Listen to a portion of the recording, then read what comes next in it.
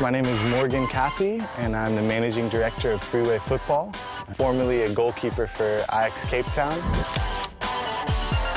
I was playing for a team in the States called Ambassadors in Sport. They had a vision to send guys to different places in the world to use uh, soccer as a platform within their organization.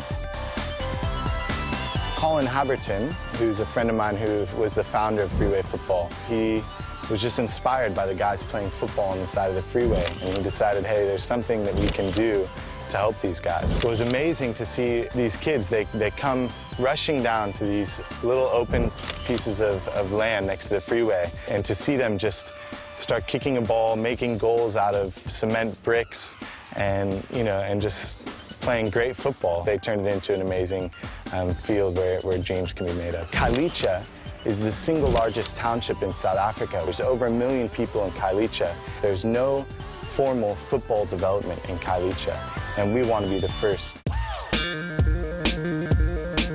So Freeway Football is, is a social enterprise. Um, we have two components. We have the media component and the football component. From the media side, Damon Hyland, who's our professional photographer, he's partnered with couple up-and-coming photographers in the township, mentored them, and from a business perspective, he's taught them how to make a sustainable business. Well, now they're up and running. Um, they've, you know, have jobs after jobs lined up. I'm a photographer, professional photographer. Uh, I come from Khayelitsha.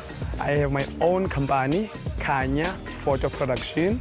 I meet this guy, Simpiwe, and he told me about freeway football, and uh, I become a part of it because of Simpiwe.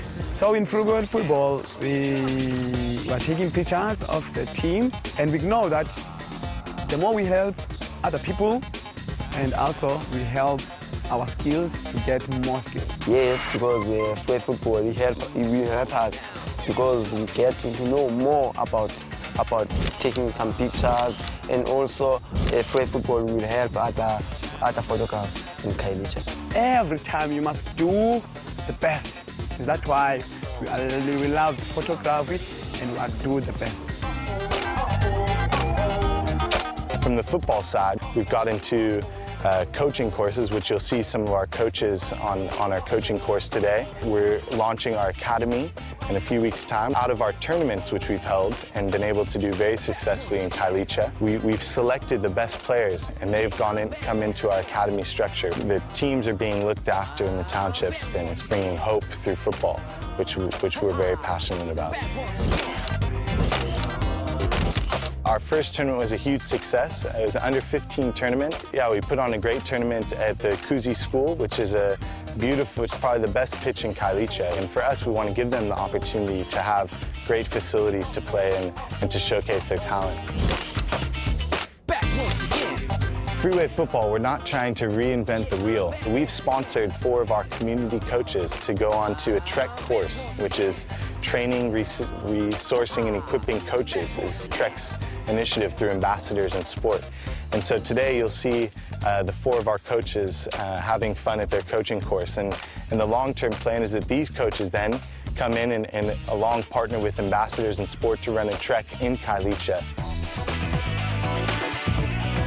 My name is Nkosaiko Njasboto, and I'm coaching 11 Express Juniors. Uh, I've got four divisions in my team. I hope uh, for the best for the club, and I see the club has got good future plans. Uh, about freeway football, uh, I spoke to, to the team manager, Leslie Julius, and then he said there, there would be a tournament. Before the tournament was hosted, the, the freeway football guys, which means Morgan, they come to Khayelitsha for like something, it was like a soccer coaching clinics. Then that's where we first met with the freeway football guys. I don't stop, don't stop the beat. I don't stop, don't stop Came January and then we had the competition and the competition was good. I think it was about 16 teams in the competition and unfortunately my team lost in the finals. It was tough, the competition was very tough, yeah. I've met some photographers in the competition and I see the, guy, the other guys are here also.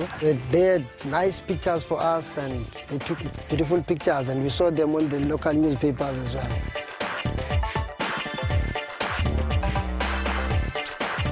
Yeah, this coaching course is very good. It's not only about football. It's about uh, you as a human being also it helps you to grow as a human being. When you take it to the football uh, pitch, the way you must coach the youngsters, how you must prepare your, your, your training sessions, the physicality, the, the, the youngsters must enjoy what they are doing. You must be well organized as a coach. There's a lot of things involved. After I finish the course, we can be a good team after this uh, coaching course. I will win the next tournament probably.